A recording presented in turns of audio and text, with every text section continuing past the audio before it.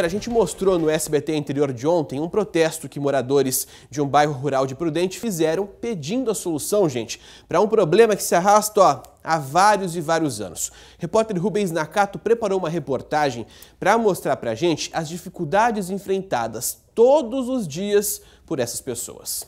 A ponte sobre o córrego Mandaguari está de pé, mas ninguém aqui sabe até quando. É uma ponte de, de, de madeira com, com, com a estrutura muito fraca, ela não resiste às águas de, de dezembro e janeiro que, que acontece e muitas vezes chove acima do normal. Esses produtores rurais estão indignados com o descaso. É só chover mais forte que o nível do córrego sobe e leva a ponte embora.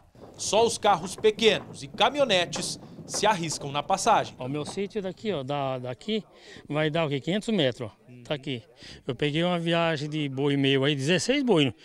Tocou da volta para vir no frigorífico do Gramado. Porque aqui, se passa aqui e cai, o prejuízo era muito. E não é de hoje que eles pedem uma estrutura melhor para a ponte. O SBT Interior já mostrou, mais de uma vez, o problema que os produtores enfrentam quando a água carrega o madeiramento remontado paliativamente. A cada dia que passa, as reivindicações desse pessoal ganham um tom ainda mais dramático.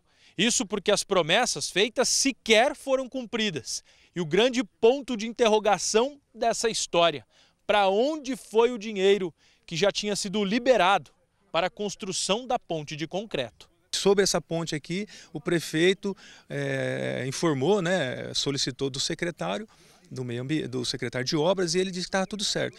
Então está tendo aí uma, uma, um desencontro nas informações do, do, do, dos secretários, do próprio prefeito, né? e não é a primeira vez, isso aqui já em 2013 teve a liberação de verba também, está no site da prefeitura, para este local.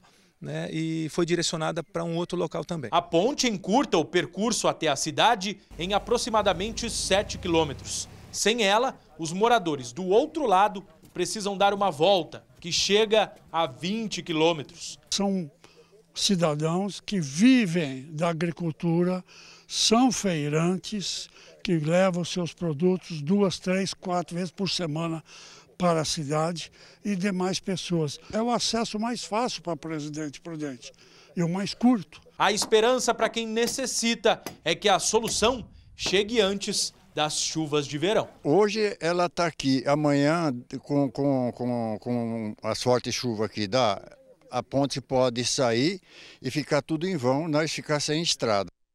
Exatamente isso. A Prefeitura de Prudente informou que houve a liberação de verbas para a construção de uma outra ponte. Nesse caso, os recursos não podem ser transferidos para essa obra em específico. A Prefeitura disse também que toda a documentação desse caso está em dia e só aguarda mesmo agora a liberação de recursos por parte do governo.